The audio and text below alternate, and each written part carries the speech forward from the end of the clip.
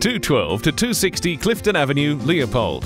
This appealing property is perfect for commuting to Geelong and close to the Surf Coast beaches and Bellarine tourist attractions.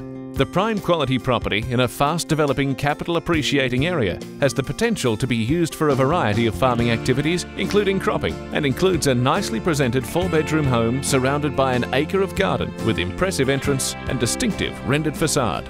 The interior also comprises polished timber floors, living room, study, large rumpus room, kitchen, dining, bathroom, laundry, and large patio for outdoor entertaining. Serviced by town water and power. Externally, it has garaging, original mud brick dairy, and sundry multi purpose sheds.